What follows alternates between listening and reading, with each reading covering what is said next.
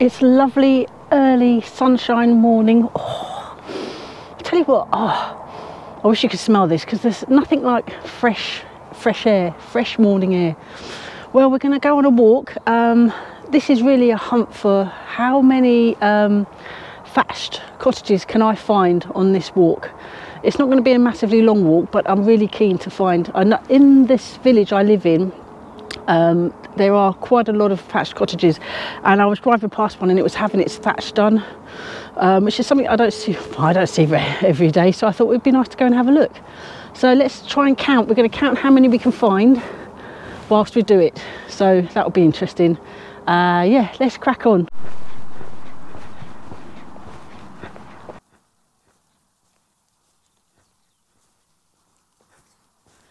a lot of traffic. That's why I thought I'd go early. It's before 8 a.m um, it's on a Sunday morning as well but all the uh, hay's been stacked up. Yeah smells lovely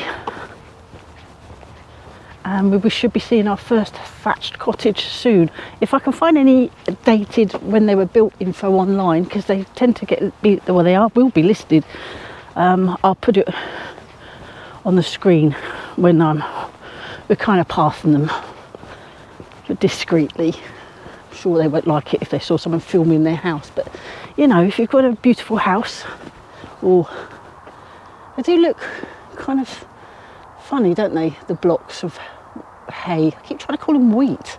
To stop doing that. They're hay. They've got to be hay. They're not wheat. You can't take London out of a girl. Because yeah, obviously I don't, you know, this. Have I ever lived in a village before? No, I haven't. it's it's lovely. I do like it. I mean, we are literally out on the outskirts of the village, but and it does have a community shop. Although with the community shop, I find it's quite odd they um they don't put any prices on any of their products. I mean, how weird is that? I don't. You go in and you don't sure how anything, how much stuff costs. Anyway, back in a tick.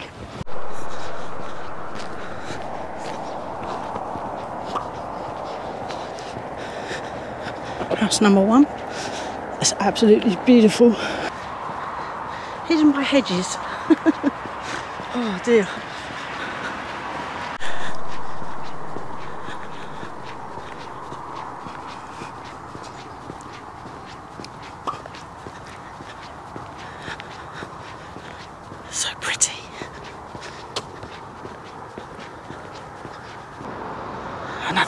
Another one. Oh, I can't talk. Oh, lovely. There's one a bit further down that road and then we're going to go left.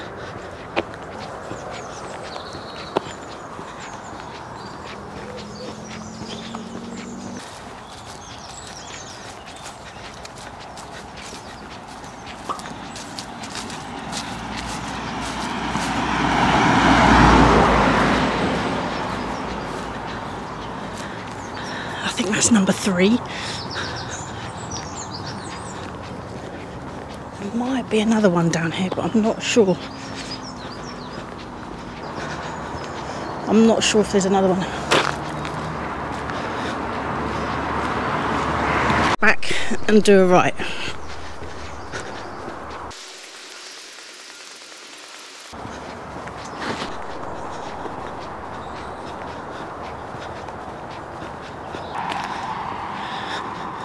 Just another view of the third one.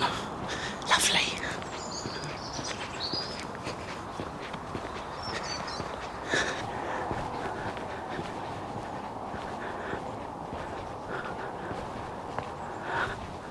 Oh. Hello. Oh. I think they know they're being filmed.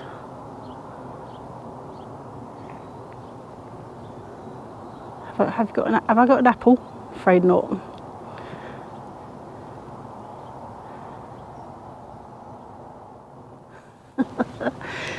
Gorgeous. Um, when I'm not on a pavement, I'd follow the country cross code.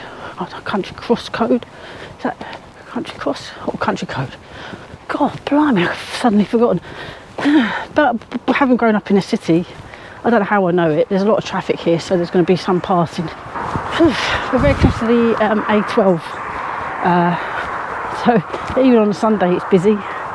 Nothing's nothing's really as quiet as it used to be.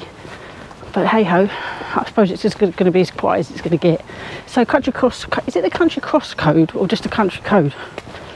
I've suddenly had a brain, not fart, brain something where it's just gone, uh, you know. um, yeah, I'm walking on the, the side where the traffic's coming towards me anyway. Right, let's crack on. Um, it's having its thatched roof fixed or renewed. I presume, well, renewed definitely. Bearing in mind these are probably built what 1600s? I don't know, maybe 1700s. Uh, I'll find out. but I don't know where you can see the ladder. It's all tufty. Oh, and when you look right to the left, I mean the massive hedges in the way. Um, but when you look on the left, you can see it's still being cut. That top ridged bit. Beautiful.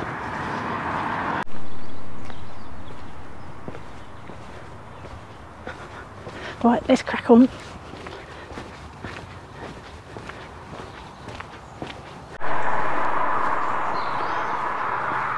So we're being affected by this potentially. I hope it doesn't happen. I've signed the petition.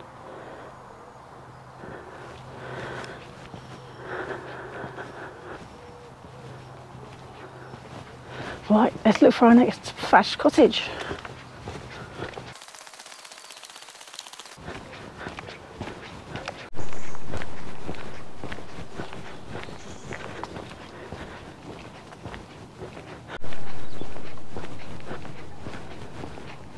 Now that's a fine building and it's completely, well it's for sale.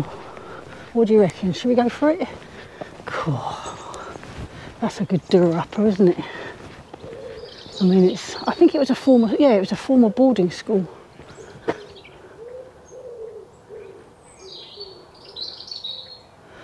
God, I'd like to get into there. Oh, come on, let's go.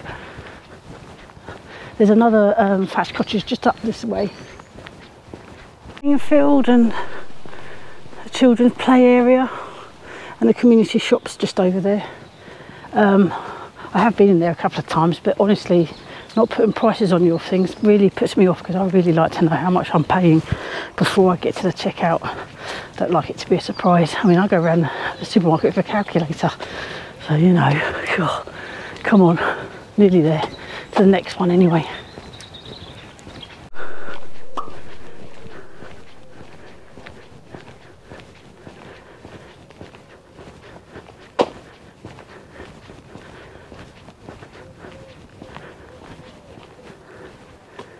beautiful. Oh, and there's another one. Oh my God, I forgot that it was two next to each other.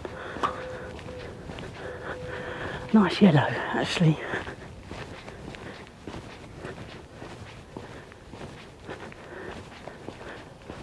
Oh, let's go.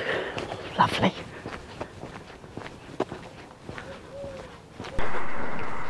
I have actually lost count how many we're at, but this is, I don't know how many this is, but this is another one. I think that might be Suffolk Pink. I used to use pig's blood to make the pink in Suffolk, but we're very close to the Suffolk border. That's beautiful, isn't it?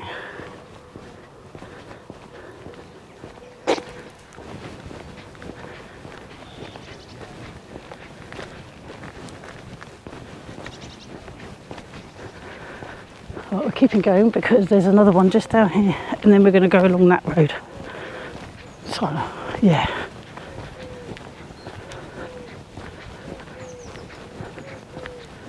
I think there's two here too, too, and there may be some further down, but I'm not going to go down all that way because I think they're quite far down.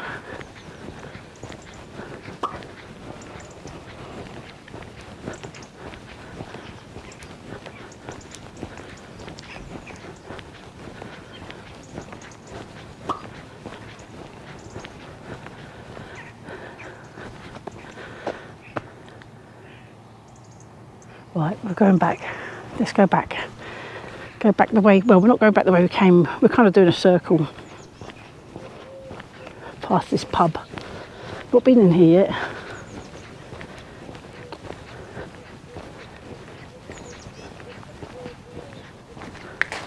Does look nice.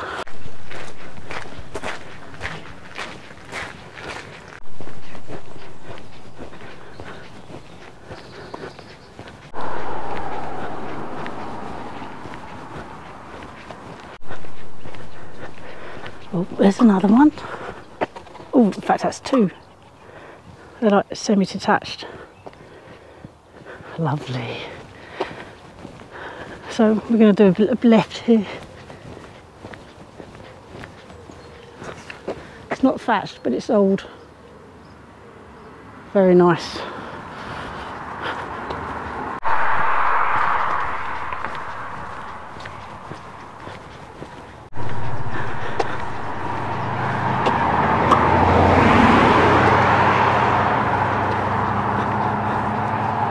Another one?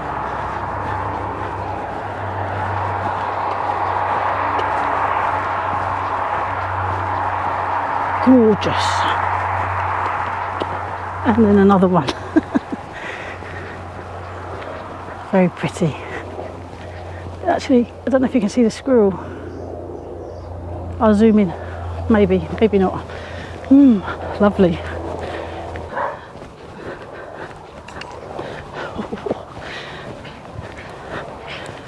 Oh, hello. Hello. There's a good girl. Yeah. She says, go away. Stop filming. oh, right, well. Oh, I'm just going to pause in the shakers actually. I'll just take a look at this field. I've, I've just, in a way, it will sh- help show you. I've kind of walked all around there and along there and then over that way and back down. You know what? It was quite fresh, but now I'm quite hot. Let's keep going. Wow, it rained absolute cats and dogs yesterday. A huge rainfall, rainpour, rain. Oh my god! Look, it's early in the morning. It actually filled that water butt, the one I showed you, right to the top. In that one rainfall, it was kind of only one third full. Uh, masses of rain. Um, it did make me. I was thinking about how many times have I moved, and it's quite a lot. So I'm going to list off the places that I've lived. It, London, first place. Staines, Ely, Oxford, Hungerford, Gloucester. Uh, there's other places I'm trying to think. Colchester. Various places in London. Does that count? I'm not sure. I mean, I've moved a lot. Um, this has to be one of our nicest moves, I must say. If you've been, if you're still watching, thanks. I really appreciate that. Update on my foot. I did go to the doctors. They've been brilliant. My new doctors, much better than my old doctors, I must say. The old doctors were always blocking care or things that needed doing, or you'd have to pay for it. But these ones, they were just literally. I saw the doctor in the morning. I had to kind of really convince her, and then it turns out I've had this since 2013. It's been on the on my records, which is when they start taking you seriously. If I'd have come in fresh and it was just the first sign of it, I reckon I wouldn't have had the help I've had. But she said, look, go to reception and book yourself a, a session with the physio, um, and then we'll, we'll kind of line you up for steroid injections in your foot. Uh, so I did that and I went to the receptionist and she said, Oh, there's a booking list today. I'm like, What? Okay. So I saw the physio and he said, Oh, you should self refer to a podiatrist. But he said, uh, he gave me loads of exercises that I've been doing. Um, she also, the doctor gave me painkillers like co-codamol. So I've got to be careful the amount of times I use them, only when I'm really needed. Um, and then I, he also said, yeah, just book for the steroid injections. Like, oh no, I saw the doctor while I was going to see the physio. It's confusing slightly because it was quite manic that day. And uh, she said, look, just go to reception and tell them that you because they have to send out a request to the person that does it. So I did that. So I'm on the list to have the steroid injections, which might take a couple of weeks. I don't know. So yeah, pain free maybe. I've also got inserts, compression socks. I need a night splinter, I think, because the physio did say, my God, your plantar, plantar fasciitis are very tight, which is why they cause so much pain. Oh, right, I'm gonna sign off now in the distant noise of a dog barking. That's not Rosie, because I'm not home, far from home. I want to say thanks so much for watching. Um, how many did we find? I don't actually know because I can't say. oh, bright light. Um, yeah, what was I going to say? Thanks so much for watching. Uh, yeah, see you on the next one. Take care, everybody. Bye.